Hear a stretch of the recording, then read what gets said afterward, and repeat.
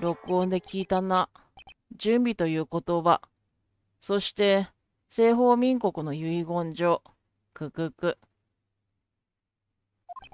マリーはこれで、節操の言うなりじゃったわい。その3つの情報があれば、影武者の正体を証明できた。シモン君を介することで、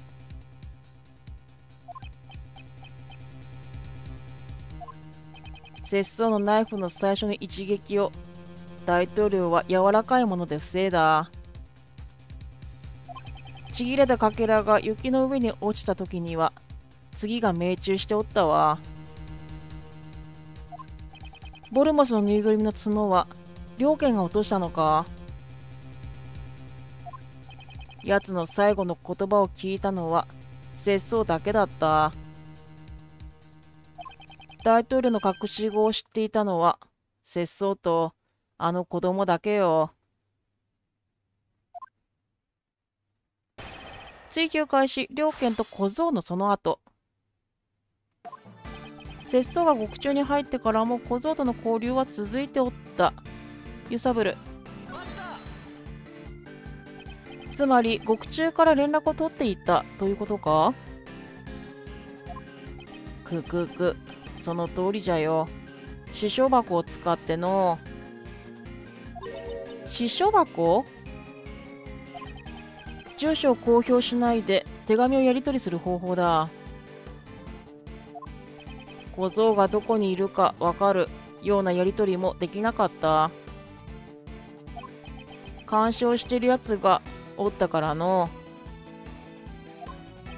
刑務所の所長、ニママリーのことだな。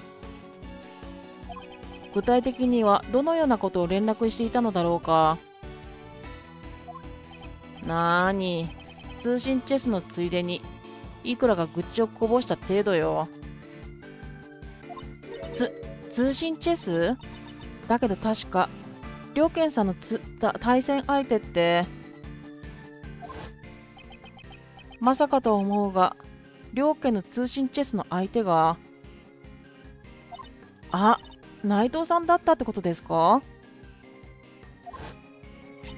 内藤真之助さんだったんじゃ？確かに内藤の官房から通信チェスの紙が見つかったな。通信チェスの紙を捜査手帳に記録した。通信チェスの紙。両家が内藤に当てて送ったもの。ワープロで書かれている。それじゃあ真之助ちゃんが IS7 号事件の？まさかそうだったのか？内藤と IS7 号事件をつなげる証拠はないだろうか？話が進んでしまった。まあいいか。つなげる証拠、選択をします。内藤の遺品。これか。これを突きつけます。内藤の遺品はこれしかない。この中にヒントはないだろうか。指輪とチェスボード。調べるべきなのは？まだちゃんと調べ終わってないのって指輪だよね。指輪。この指輪は？三剣さんどうしたんですか？信楽さんこの指輪を見てください。この模様はポールホリックのすげえつながった。やはり兵藤さんの刻印を指輪にしたもののようですね。しかしどうして彼がこれを？IS7 号事件の証拠として保管されているはずでは？この刻印は事件の後に親族に返却手続きがされていた。兵道には息子以外に親族がいなくてね。その息子の行方がわからなかったせいで引き渡しが遅れていたんだ。今ではちゃんと見つかって遺品も渡ったって聞いてるけど。その際に刻印も無事に息子へ引き渡されたのでしょう。息子見つかったの？そして彼は刻印を指輪にして身につけていた。ナイトの遺品の情報を書き換えた。ナイトの遺品。ナイトが父親の形見から作った指輪と携帯用のチェスボード。それじゃあ内藤さんは兵藤さんの息子。警察もバカじゃない。ちゃんと調べて刻印を渡したろうからね。IS7 号事件の関係者でチェスの対戦相手となると内藤か。その男こそが今回の事件の黒幕。うーん。まあ意義はあるよね。そう。しかし内藤はすでに死んでいる。今回の事件に関わることはできない。そうなのよ。なんてことだ。黒幕に当てはまる唯一の人間が殺人の被害者？でも死んだ人が犯人だなんてそんなことありえませんよ。確かに奇妙だがならば一体誰が？それがここに来てばったりと止まったのが気がかりでな。揺さぶります。止まった？よりにもよってこの時期に？不思議じゃろ？う黒も。それが不思議だ不思議だと言い言いよっての言ってたのか？黒が。その怖いのが言ったんですか？不思議だわんって本当に。くくく。声に出さずとも節操には黒の心がわかるのよ。あのそれじゃあ念のために聞いておきたいんですけど今私のことをじっと見てるこの怖い犬さんお腹が空いたとかお肉が食べたいとか言ってませんよね。くくく多分な。た多分？ああみみつるぎさん。どうやらこの暗殺犬がよほど苦手なようだな。よしよしよしよしよしよし。さてとムツゴロウか。とにかく小僧との交流は突然中断してしもうての。しかも12年前の事件の関係者が立て続けに事件に巻き込まれた。揺さぶる。確かに単なる偶然にしてはあまりにもできすぎている。王帝君西方民国の大統領影武者が嘘の暗殺事件を起こす。三輪マリー刑務所の所長内藤真之助を殺害。一柳万歳検事審査会会長カゴメ翼を殺した。思えばこれらの事件を調べてる間にも裏には常に何者かの存在を感じていた。くっくっく。ただごとではないのは檻の中からでもよくわかる。気になってのちょっと脱獄してきたというわけよ。揺さぶる。ちょっと脱獄してきた。だと？そんな応募は許されない。ちょっと盗んできたなんて。そんな泥棒も許されません。くっくっく安心せえ。誰も傷つけてはおらぬ。そんなことをせずとも節操は外へ出るつてを持っておるのよ。だだからって脱獄はダメっす。逮捕っす。逮捕すよ。その必要はないよ。用が済めば節操は独房へ戻るでの。てめえなめてんのか？刑務所ってのは好き勝手に出たり入ったりできる場所じゃねえんだ。くくくそうは申せど。お主自身節操の昔話に興味がありそうに見えるがの。く老捜査官糸の小切刑事。私が両県から必要な話を聞き出す。それまで猶予をいただきたい。あいつ三剣検事ならそう言うだろうと思ってたっす。ちきしょうだがな。絶対に目だけは離さねえぜ。食べてる。展示で手紙を書くというのもなかなか楽しいものだっただったのじゃが揺さぶります。失礼だが展示で手紙をしたためていたのかね。そうよ。展示を書くための器具は節操も持っておるからの。へえ。展示って器具を使って書くんですね。初めて知りました。ではそれで何を書いていたのかも教えていただこう。何もかもよ。手紙の文言はもちろん。チェスの駒の動きもの。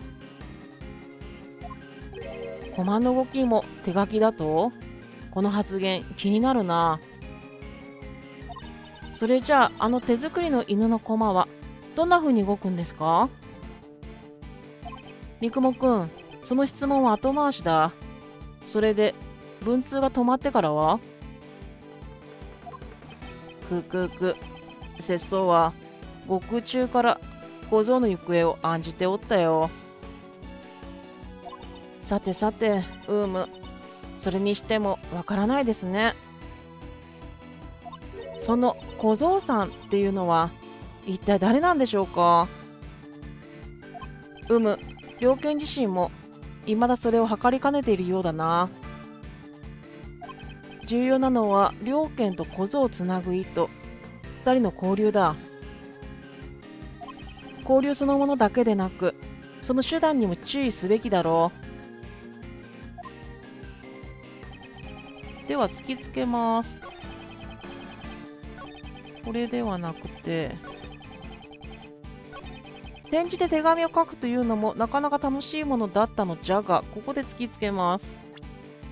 展示じゃなくないかな？通信チェスの紙。ワープロで書かれてるよね。突きつけます。展示で手紙を書く。確かにそう言ったな。そうじゃ。節操の目のこと。知らぬわけでもあるまい。我々が見つけた通信チェスの紙は、ワープロで書かれたものだったが。なんじゃとそんなことは、ありえんよ。どういうことだ？誰かがわざわざワープロで打ち直したんですかね？まさか、両県と内藤の間に誰か別の人物が入っていたのか？どういうことですか？両家は転じて手紙を書いた。しかし、それが内藤の手に渡るときには、ワープロになっていた。間に入った誰かが打ち直したとしか思えん。ということは、逆も言えるわけだよね。内藤が書いた手紙はその誰かに一度渡ってから両家のもとへ。ええその通りです。通信チェスの紙の情報を書き換えた。通信チェスの紙黒幕が両県から来た手紙をワープロに打ち直してナイトに送ったもの。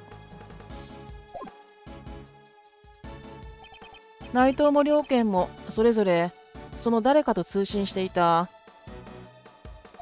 両県貴様のもとに届いていた手紙は？もちろん展示じゃったよ。それもやっぱり間之助ちゃんが書いたのを誰か誰かが翻訳したのかね。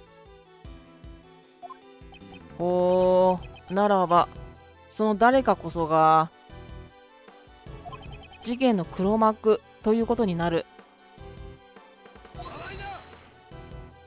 この事件には他に黒幕がいるってのか？そいつは一体何者なんだ？兵頭の息子である内藤はすでに死んでいる。ならばもう一人の少年こそが黒幕だと考えるべきだろう。風見豊の子供か一体そいつはどこのドイツなんだ？内藤が兵頭さんの息子ならば風見の息子は僕にとっても内藤にとってもたった一人の幼なじみなんです。あいつも僕と同じでちゃんとした家族がいないから。そんなまさか彼が？三剣さんどうしたんですか？顔が真っ青ですよ。分かったのだ。この事件を裏から操っていた。黒幕の正体が。え一体誰なんですか？信じたくはないが我々のよく知る人物だ。黒幕の正体はえー、もうあの人しかいないじゃんね。選択をします。猿城颯太。この人か。突きつけます。この事件の黒幕は。カゴメ翼に手紙を送り万歳を陥れた人物。そしてシモン君を誘拐し我々を盗聴していた人物。だがその行動の中でもずっと引っかかっていたのは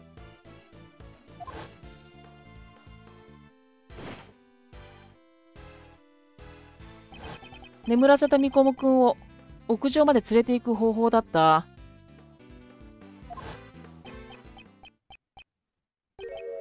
大怪獣。え？今なんて言いました？そうだ。黒幕の正体を暴く鍵は怪獣の正体にあった。ああそそうだ。あの今度の公演よければ三剣さんも来てください。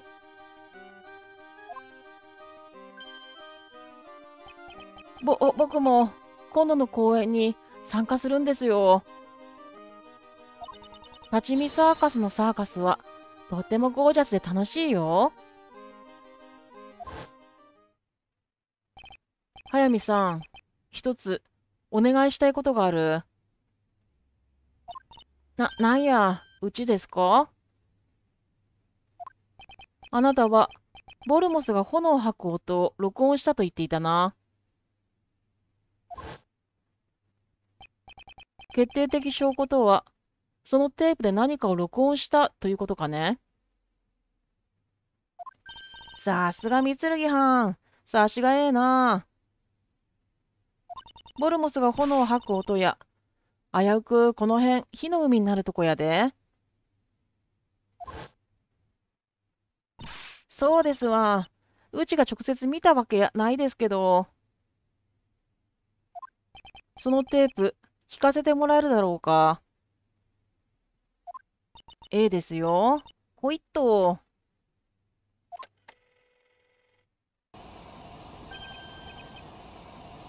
この音はやはりどうやら私の推理は間違っていないようだ。大怪獣と黒幕の正体、すべてのロジックがつながった。大騒ぎさん、確か巨大な目を写真に撮ったと言っていたな。ああ、そうや。この写真やで。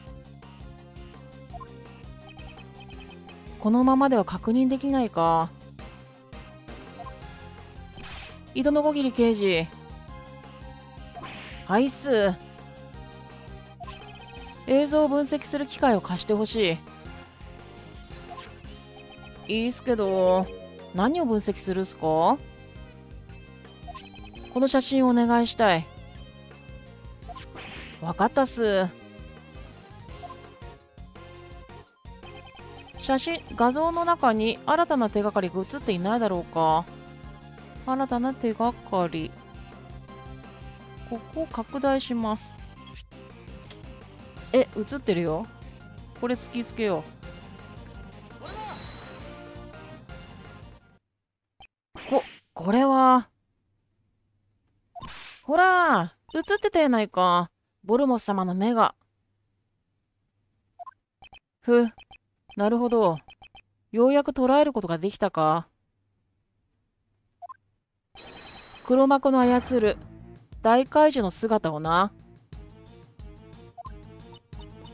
だ。だだ。だだだ。大怪獣？み認めるんか。認めるんやな。ボルモス様の存在を。いやこれはボルモスではない別の怪獣の目なのだよこれを見ていただこう立ち見サーカスのチラシ？あ、こ、これって。そう。ここにはライオンの形をした巨大なバルーンが描かれている。これこそが大怪獣の正体だったのだよ。そして、速水さんが録音していたボルモスの炎を吐く音。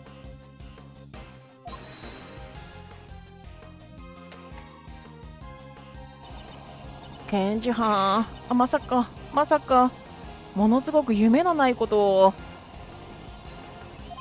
バルーンって確かバーナーで空気を温めて飛ぶっすよねその通りそして黒幕はこの怪獣を操りエレベーターを使うことなく三雲くんを屋上へと運んだのだ。それじゃあ黒幕はサーカスの関係者ってことですか？サーカスの職員で内藤の友人そして風見豊の息子。ななんてこった。見習いの猛獣使いかふとんでもない。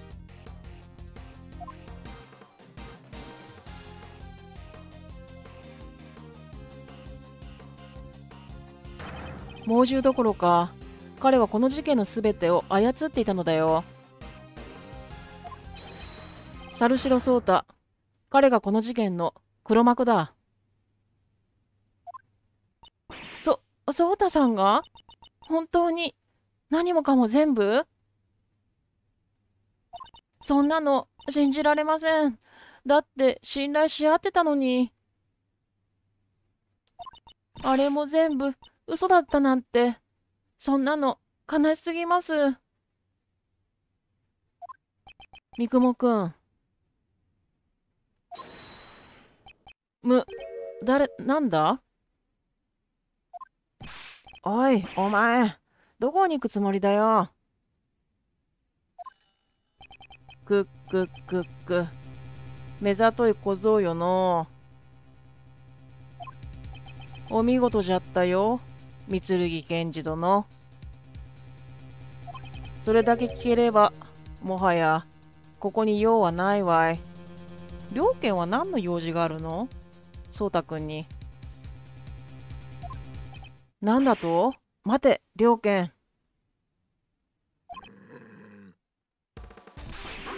突撃してきた。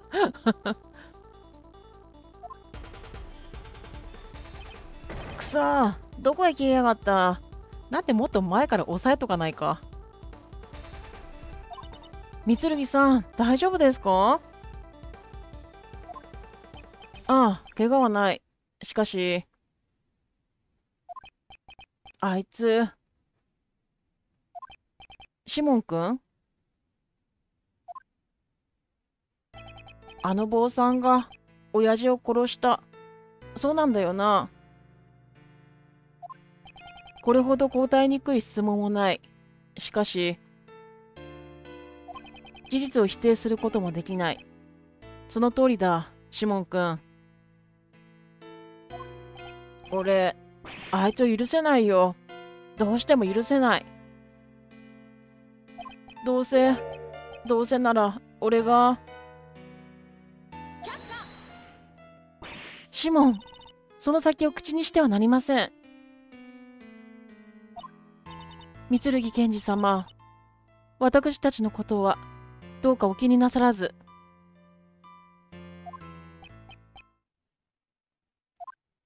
三剣賢治、両家の手配、ばっちり頼んでおいたす。だそうだぜ。冷たいようだが、俺たちも急いだ方がいい。ケンジさんよ、黒幕の男は今どこにいるんだミリカちゃんも心配だね。そうだな、ロー捜査官。今は何を言っても黒幕を追うべきだ。彼は練習をしていると言っていた。おそらくサーカスのテントだろう。だがその前に、ロー捜査官には頼みたいことがある。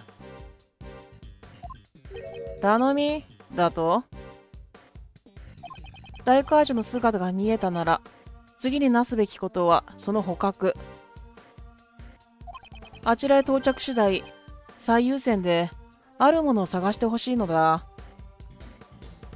それと、糸のこぎり刑事には、誘拐事件の追加調査をお願いしたい。はいっす。三剣さん、私も何か手伝いたいです。うむ。ならば君には連絡を頼むとしよう。彼が黒幕なら必要になるのだ。あの人物の協力が、な。何度も顔を合わせておきながら犯行を続けさせてしまうとは。大きな不覚を取ったが、今度こそ決着をつける。